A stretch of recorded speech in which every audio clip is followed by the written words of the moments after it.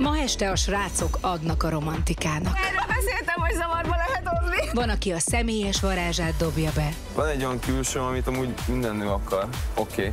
Okay. és van, aki Shakespeare-t nyúlja. Én egy hőszerelmes vagyok. Éld bele magad, konfabulálj! A második napon a tesztoszteron Csontsvinkli vagy mes. utat tör magának. Tesó vagy, én imádlak csíplek, Én nem vagyok a tesó. Az lehet, hogy ott az enyém. Nem mondod. De. Én azt nem akarom végezni. De a dráma este jön. Valaki ma hazamegy. Ez most egy érzelmi alapú döntés volt.